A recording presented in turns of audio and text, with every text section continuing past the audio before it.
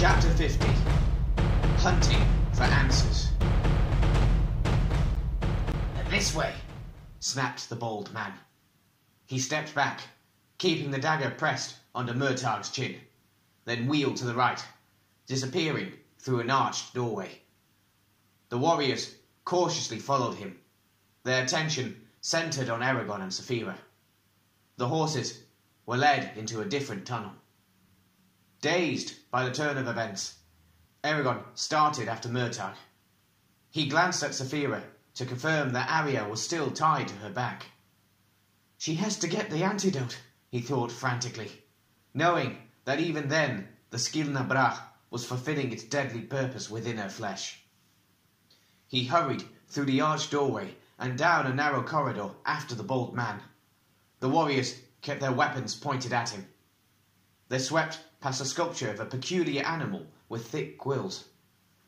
The corridor curved sharply to the left, then to the right. A door opened, and they entered a bare room large enough for Saphira to move around with ease. There was a hollow boom as the door closed, followed by a loud scrape as a bolt was secured on the outside. Eragon slowly examined his surroundings, Zar'roc tight in his hand. The walls, floor, and ceiling were made of polished white marble that reflected a ghost image of everyone, like a mirror of veined milk. One of the unusual lanterns hung in each corner. There's an injured, he began, but a sharp gesture from the bold man cut him off. Do not speak. It must wait until you have been tested. He shoved Murtagh over to one of the warriors, who pressed a sword against Murtagh's neck. The bold man clasped his hands together softly. Remove your weapons and slide them to me. A dwarf unbuckled Murtagh's sword and dropped it on the floor with a clank. Loath to be parted with Zar'roc, Eragon unfastened the sheath and set it and the blade on the floor. He placed his bow and quiver next to them, then pushed the pile toward the warriors. Now, step away from your dragon and slowly approach me, commanded the bold man. Puzzled, Eragon moved forward. When they were a yard apart, the man said, Stop there! Now, remove the defenses from around your mind and prepare to let me inspect your thoughts and memories.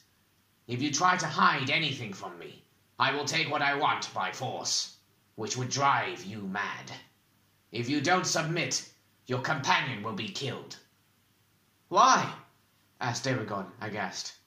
To be sure you aren't in Galbatorix's service, and to understand why hundreds of Urgals are banging on our front door, growled the bald man. His close-set eyes shifted from point to point with cunning speed. No one may enter Farthen Dûr without being tested. There isn't time. We need a healer, protested Eragon. Silence! roared the man, pressing down his row with thin fingers. Until you are examined, your words are meaningless. But she's dying, retorted Eragon angrily, pointing at Arya. They were in a precarious position, but he would let nothing else happen until Arya was cared for. It will have to wait. No one will leave this room until we have discovered the truth of this matter. Unless you wish. The dwarf who had saved Eragon from the lake jumped forward. Are you blind, eh, Egraz Carn? Can't you see that's an elf on the dragon? We cannot keep her here if she's in danger. Ajihad and the king will have our heads if she's allowed to die. The man's eyes tightened with anger.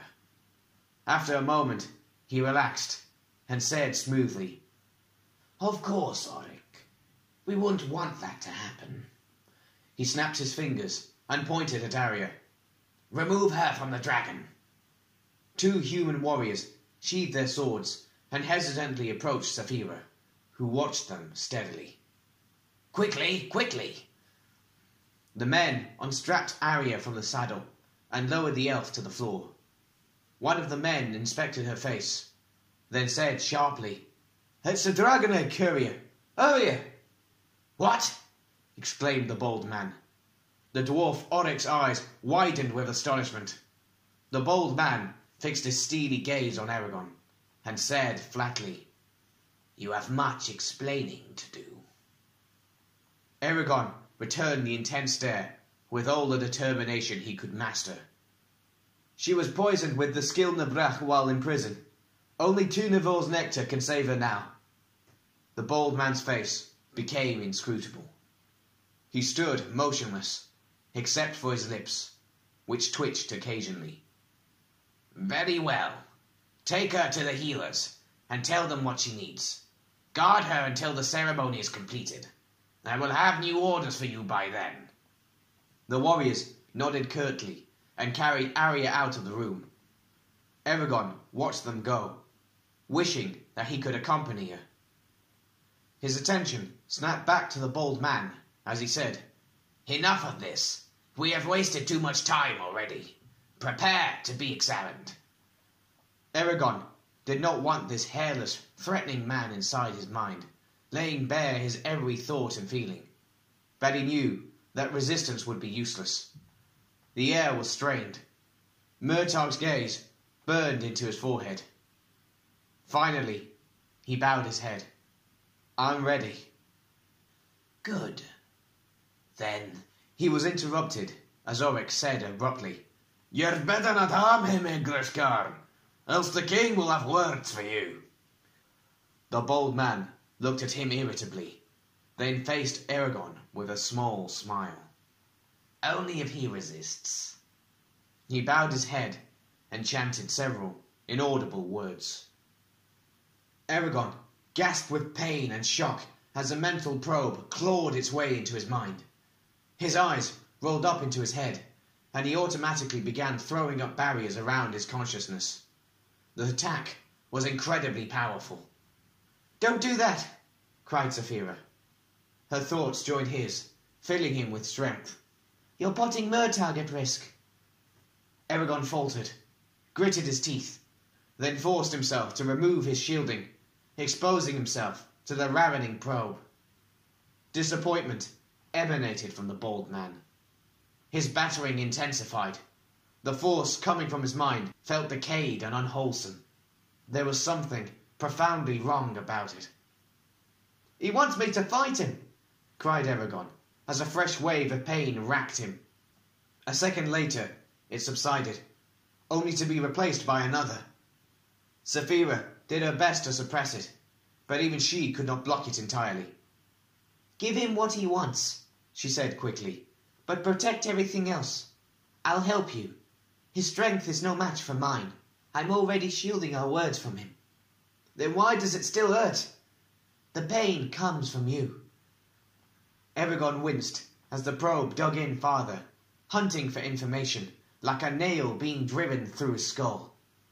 The bald man roughly seized his childhood memories and began sifting through them. He doesn't need those. Get him out of there, growled Eragon angrily. I can't, not without endangering you, said Saphira. I could conceal things from his view, but it must be done before he reaches them. Think quickly and tell me what you want hidden. Eragon tried to concentrate through the pain. He raced through his memories, starting from when he had found Saphira's egg. He hid sections of his discussions with Brom, including all the ancient words he had been taught. Their travels through Palancar Valley, Yazuac, Daret, and Teirm he left mostly untouched but he had Saphira conceal everything he remembered of Angela's fortune telling and Solembum. He skipped from their burglary at Teirm to Brom's death, to his imprisonment in Gilead, and lastly, to Murtagh's revelation of his true identity. Eragon wanted to hide that as well, but Saphira balked. The Varden have a right to know who they shelter under their roof, especially if it's a son of the Forsworn. Just do it, he said tightly fighting another wave of agony. I won't be the one to unmask him, at least not to this man. It'll be discovered as soon as Murtagh is scanned, warned Saphira sharply. Just do it.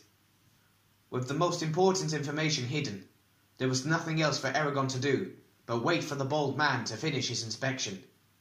It was like sitting still while his fingernails were extracted with rusty tongs. His entire body was rigid, jaw locked tightly. Heat radiated from his skin, and a line of sweat rolled down his neck. He was acutely aware of each second as the long minutes crept by. The bald man wound through his experiences sluggishly, like a thorny vine pushing its way toward the sunlight. He paid keen attention to many things Eragon considered irrelevant, such as his mother, Selena, and seemed to linger on purpose so as to prolong the suffering. He spent a long time examining Eragon's recollections of the Ra'zac, and then later the Shade. It was not until his adventures had been exhaustively analyzed that the bald man began to withdraw from Eragon's mind. The probe was extracted like a splinter being removed. Eragon shuddered, swayed, then fell toward the floor.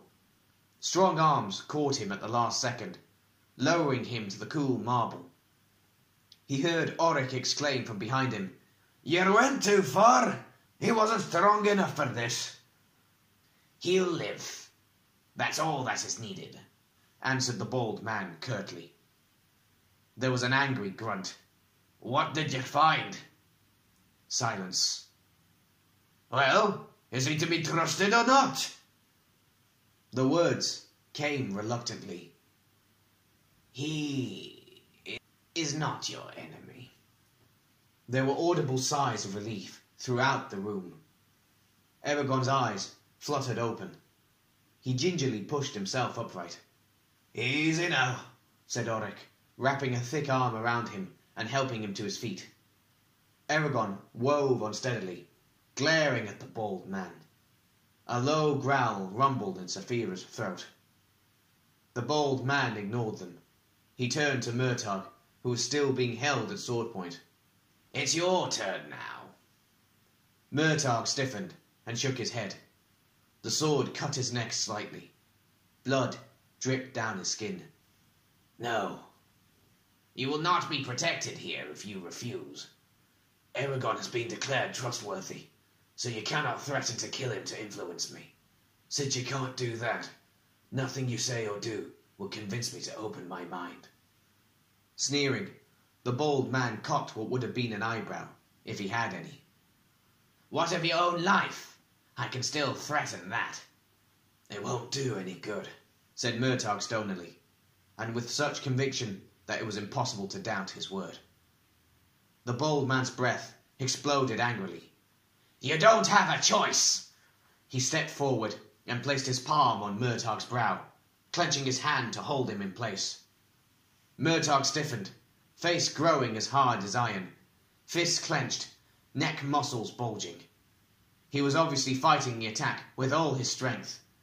The bald man bared his teeth with fury and frustration at the resistance. His fingers dug mercilessly into Murtagh. Eragon winced in sympathy, knowing the battle that raged between them. Can't you help him? he asked Saphira. No, she said softly. He will allow no one into his mind. Orik scowled darkly as he watched the combatants.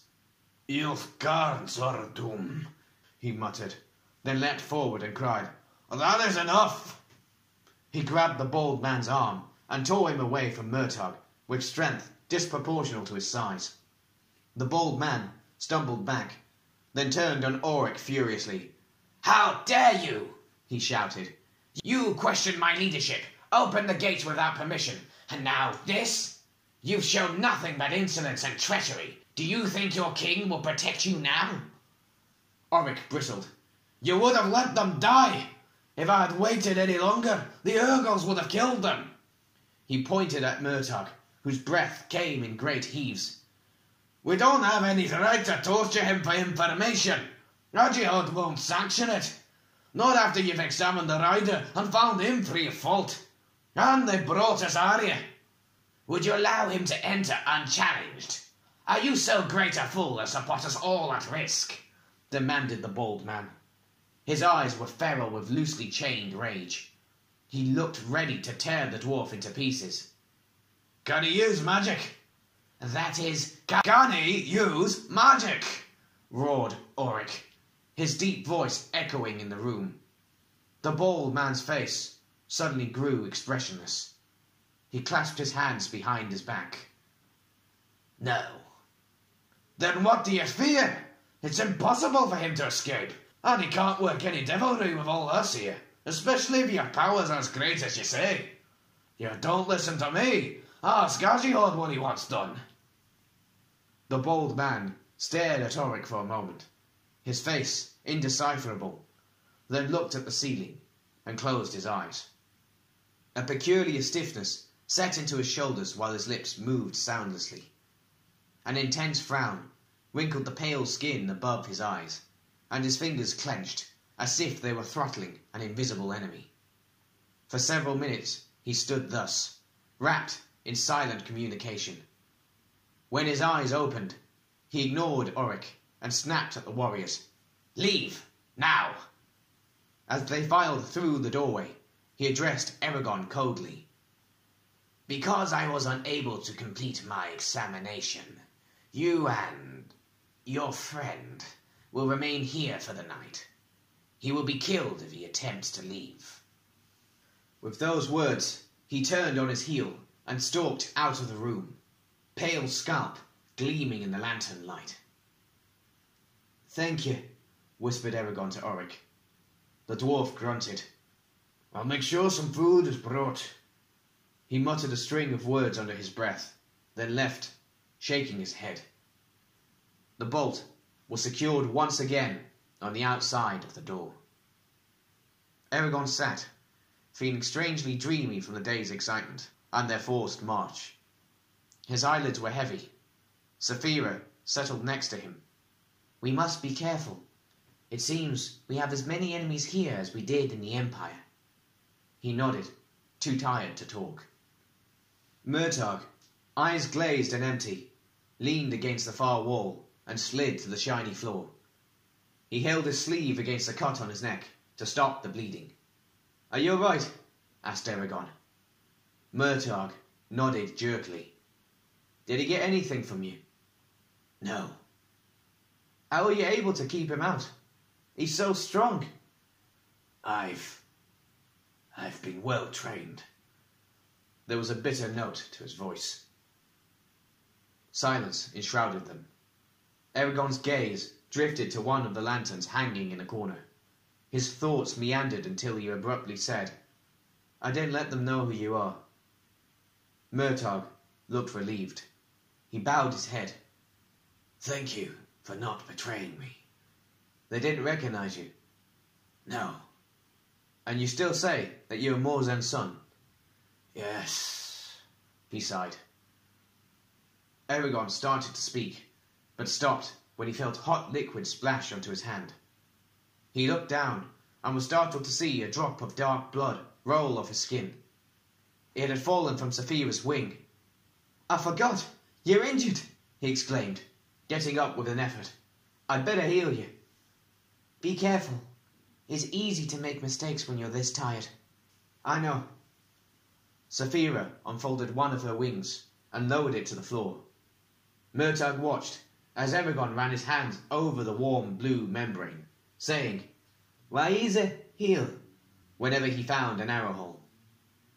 Luckily, all the wounds were relatively easy to heal, even those on her nose. Task completed, Eragon slumped against Saphira, breathing hard. He could feel her great heart beating with the steady throb of life. I hope they bring food soon, said Murtagh. Eragon shrugged. He was too exhausted to be hungry. He crossed his arms, missing Zar'roc's weight by his side. Why are you here? What? If you really are Morzan's son, Galbatorix wouldn't let you wander around Alagaësia freely. How is it you've managed to find the Ra'zac by yourself? Why is it I've never heard of any of the Forsworn having children? And what are you doing here? His voice rose to a near shout at the end. Murtagh ran his hands over his face. It's a long story. We're not going anywhere, rebutted Eragon. It's too late to talk. There probably won't be time for it tomorrow. Murtagh wrapped his arms around his legs and rested his chin on his knees, rocking back and forth as he stared at the floor. It's not a... he said, then interrupted himself. I don't want to stop. So make yourself comfortable. My story will take a while. Eragon shifted against Saphira's side and nodded. Saphira watched both of them intently. Murtagh's first sentence was halting, but his voice gained strength and confidence as he spoke. As far as I know, I am the only child of the thirteen servants, or the Forsworn as they're called. There may be others, for the thirteen had the skill to hide wherever they wanted, but I doubt it, for reasons I'll explain later. My parents met in a small village. I never learned where, while my father was traveling on the king's business. Morzan showed my mother some small kindness, no doubt a ploy to gain her confidence, and when he left, she accompanied him. They traveled together for a time, and, as is the nature of these things, she fell deeply in love with him. Morzan was delighted to discover this, not only because it gave him numerous opportunities to torment her, but also because he recognized the advantage of having a servant who wouldn't betray him. Thus, when Morzan returned to Galbatorix's court, my mother became the tool he relied upon most. He used her to carry his secret messages, and he taught her rudimentary magic, which helped her remain undiscovered and, on occasion, extract information from people. He did his best to protect her from the rest of the thirteen, not out of any feelings for her, but because they would have used her against him given the chance. For three years, things proceeded in this manner, until my mother became pregnant. Murtagh paused for a moment, fingering a lock of his hair. He continued in a clipped tone. My father was, if nothing else, a cunning man. He knew that the pregnancy put both him and my mother in danger, not to mention the baby. That is, me. So, in the dead of night, he spirited her away from the palace and took her to his castle. Once there, he laid down powerful spells that prevented anyone from entering his estate, except for a few chosen servants. In this way, the pregnancy was kept secret from everyone but Galbatorix. Galbatorix knew the intimate details of the Thirteen's lives, their plots, their fights, and, most importantly, their thoughts.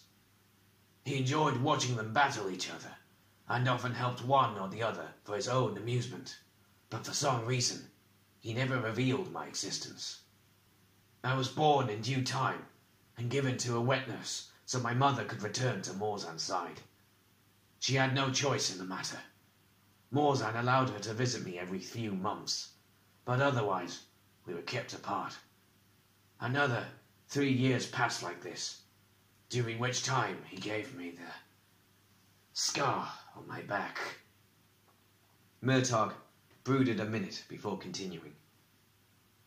I would have grown to manhood in this fashion if Morzan hadn't been summoned away to hunt for Saphira's egg. As soon as he departed, my mother, who had been left behind, vanished. No one knows where she went or why. The king tried to hunt her down, but his men couldn't find her trail, no doubt because of Morzan's training. At the time of my birth, only five of the thirteen were still alive. By the time Morzan left, that number had been reduced to three. When he finally faced Brom in Gilead, he was the only one remaining. The Forsworn died through various means suicide, ambush, overuse of magic. But it was mostly the work of the Varden. I'm told that the king was in a terrible rage because of these losses. However, before word of Morzan and the others' deaths reached us, my mother returned. Many months had passed since she had disappeared. Her health was poor, as if she had suffered a great illness, and she grew steadily worse. Within a fortnight, she died. What happened then? prompted Eragon. Murtagh shrugged. I grew up. The king brought me to the palace and arranged for my upbringing. Aside from that, he left me alone. Then why did you leave? A hard laugh broke from Murtagh. Escaped is more like it. At my last birthday, when I turned 18, the king summoned me to his quarters for a private dinner. The message surprised me because I had always distanced myself from the court and had rarely met him. We talked before, but always within earshot of eavesdropping nobles. I accepted the offer, of course, aware that it would be unwise to refuse. The meal was sumptuous, but throughout it, his black eyes never left me. His gaze was disconcerting. It seemed that he was searching for something hidden in my face. I didn't know what to make of it, and did my best to provide polite conversation. But he refused to talk, and I soon ceased my efforts. When the meal was finished, he finally began to speak. You've never heard his voice, so it's hard for me to make you understand what it was like. His words were entrancing, like a snake whispering gilded lies into my ears. A more convincing and frightening man I've never heard. He wove a vision, a fantasy of the empire as he imagined it. There would be beautiful cities built across the country, filled with the greatest warriors, artisans, musicians, and philosophers. The Urgals would finally be eradicated, and the empire would expand in every direction until it reached the four corners of Alagaesia. Peace and prosperity would flourish, but more wondrous yet, the riders would be brought back to gently govern over Galbatorix's fiefdoms. Entranced, I listened to him for what must have been hours. When he stopped, I eagerly asked how the riders would be reinstated, for everyone knew there were no dragon eggs left.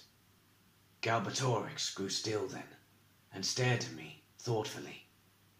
For a long time he was silent, but then he extended his hand and asked, Will you, O son of my friend, serve me as I labor to bring about this paradise? Though I knew the history behind his and my father's rise to power, the dream he had painted for me was too compelling, too seductive to ignore. Ardor for this mission filled me, and I fervently pledged myself to him.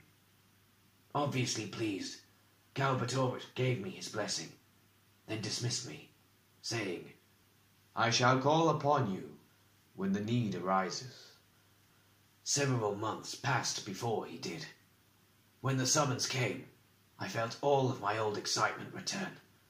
We met in private as before, but this time he was not too pleasant or charming. The Varden had just destroyed three brigades in the south, and his wrath was out in full force. He charged me in a terrible voice to take a detachment of troops and destroy Cantos, where rebels were known to hide occasionally. When I asked what we should do with the people there, and how we would know if they were guilty, he shouted, They're all traitors! Burn them at the stake and bury their ashes with dung! He continued to rant, cursing his enemies, and describing how he would scourge the land of everyone who bore him ill will. His tone was so different from what I had encountered before. It made me realize he didn't possess the mercy or foresight to gain the people's loyalty, and he ruled only through brute force guided by his own passions. It was at that moment I determined to escape him and Urû'baen forever. As soon as I was free of his presence, I and my faithful servant, Tornac, made ready for flight. We left that very night, but somehow Galbatorix anticipated my actions, for there were soldiers waiting for us outside the gates. Ah, my sword was bloody, flashing in the dim lantern glow. We defeated the men, but in the process, Tornac was killed. Alone and filled with grief, I fled to an old friend who sheltered me in his estate. While I hid, I listened carefully to every rumor, trying to predict Galbatorix's actions and plan for my future. During that time, talk reached me that the Ra'zac had been sent to capture or kill someone. Remembering the king's plans for the riders, I decided to find and follow the Ra'zac, just in case they did discover a dragon. And that's how I found you, I have no more secrets. We still don't know if he's telling the truth, warned Saphira. I know, said Eragon. But why would he lie to us? He might be mad. I doubt it. Eragon ran a finger over Saphira's hard scales, watching the light reflect off them. So why don't you join the Varden? They'll distrust you for a time, but once you prove your loyalty, they'll treat you with respect. And aren't they in a sense your allies? They strive to end the king's reign. Isn't that what you want? Must I spell everything out for you? Demanded Murtagh. I don't want Galbatorix to learn where I am, which is inevitable if people start saying that I've sided with his enemies, which I've never done. These, he paused, then said with distaste, rebels are trying not only to overthrow the king, but to destroy the empire, and I don't want that to happen. It would sow mayhem and anarchy. The king is flawed, yes, but the system itself is sound. As for earning the Varden's respect, ha! Once I am exposed, they'll treat me like a criminal, or worse. Not only that, suspicion will fall upon you because we travel together. He's right, said Saphira. Eragon ignored her. It isn't that bad, he said, trying to sound optimistic. Murtagh snorted derisively and looked away. I'm sure they won't be the. His words were cut short as the door opened a hand's breadth and two bowls were pushed through the space. A loaf of bread and a hunk of raw meat followed. Then the door was shut again. Finally, grumbled Murtagh, going to the food. He tossed the meat to Saphira, who snapped it out of the air and swallowed it whole. Then he tore the loaf in two, gave half to Eragon, picked up his bowl, and retreated to a corner.